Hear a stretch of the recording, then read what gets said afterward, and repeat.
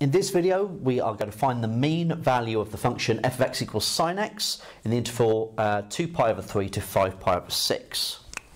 So the mean value would be 1 over 5 pi over 6, take away 2 pi over 3,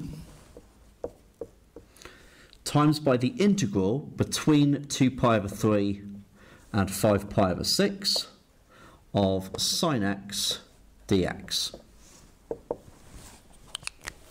Okay, so uh, first of all, the 5 times pi over 6 take away 2 times pi over 3 is uh, 1 sixth of pi.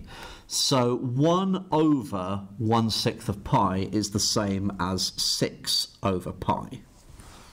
Okay, that would be the same thing there. Now, sine x we know integrates to minus cosine of x. That's to be integrated between 2 pi over 3 and 5 pi over 6. So we've got 6 over pi times by, so minus cosine of 5 pi over 6 is root 3 over 2.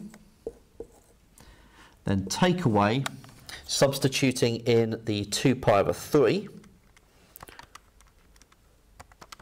is 1 half. Okay, now we could leave the answer like that, or we could factor the half out, make it a little bit neater, and we would have 3 over pi times root 3 take away 1.